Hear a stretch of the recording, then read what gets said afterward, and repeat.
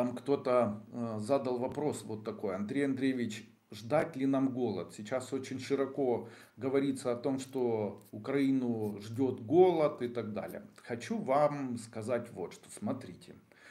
А, для того голод может возникать только в странах, в которых закрываются границы. Вот смотрите, Северная Корея, границы закрыты, в этой стране появляется голод. Африка, некоторые страны, им закрывают границы, После того, когда закрываются границы, появляется голод. Почему и что такое закрытые границы? Закрытые границы приводят к тому, что невозможно ни въехать, ни выехать. Именно поэтому, когда голод, то люди имеют возможность собраться и переехать в другую страну, заработать, привезти что-то и так далее. Таким образом, в наше время, в случае, если границы не закрываются, то голода не будет. Самое страшное, что может произойти страной, это закрытие границ. Это сейчас происходит с Российской Федерацией, с Белоруссией. И, конечно, теперь ответьте сами на вопрос, где может быть голод и к чему это может прийти. Ну, как-то так.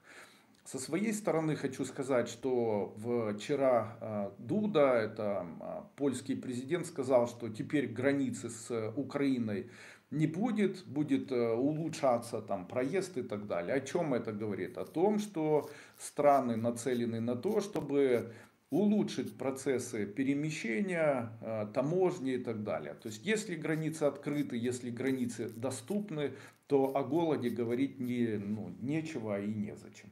Будет ли голод в каких-либо странах, допустим, в Египте из-за нехватки хлеба или еще где-то, это тоже не так, потому что не хлебом единым жив, жив человек, и э, процессы замещения пищи, они тоже существуют. То есть в случае, если не будет хватать хлеба и лепешек, будут есть фасоль и картофель, знаете, люди приспособятся, а все в порядке. Как такового страшного голода не будет. Может быть, будет ограничение в определенных продуктах. Поэтому все в порядке, не бойтесь.